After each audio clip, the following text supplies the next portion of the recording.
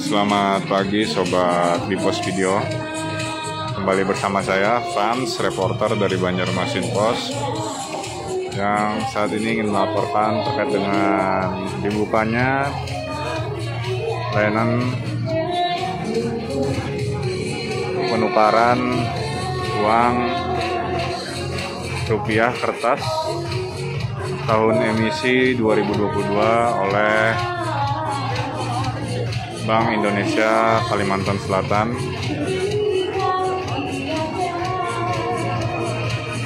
Di mana pada saat ini tempat ini dibuka layanan kas keliling bersama sekaligus pengenalan uang rupiah dan uang rupiah kertas tahun emisi baru 2022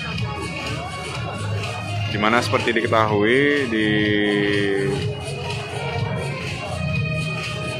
tahun emisi 2022 ini ada sebanyak tujuh pecahan uang pecahan. Uang pecahan di antaranya terdiri dari nominal 100 ribu 50 ribu rupiah 20 ribu rupiah 10 ribu rupiah 5 ribu rupiah 2 ribu rupiah dan juga 1000 rupiah dan sebagai informasi juga bahwa untuk bisa melakukan penukaran uang tahun emisi baru tahun 2022 ini masyarakat bisa terlebih dahulu mendaftar di aplikasi Pintar.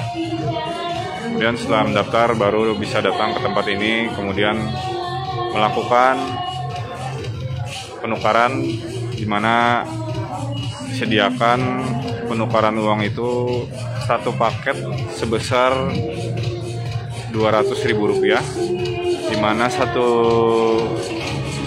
KTP maksimal bisa menukarkan melakukan penukaran sebanyak 5 paket.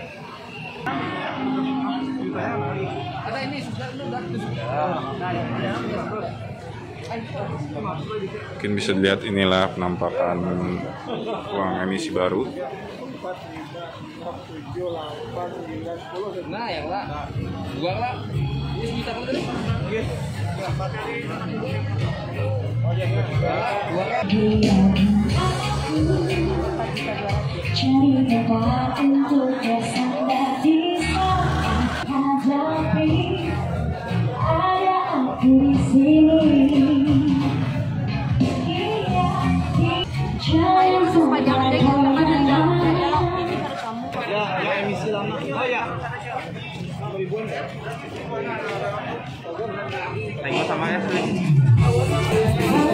Baik sobat Pipos Video, demikian sementara yang dapat saya laporkan terkait dengan sudah dibukanya layanan pengenalan uang kertas rupiah tahun emisi 2022 yang dilaksanakan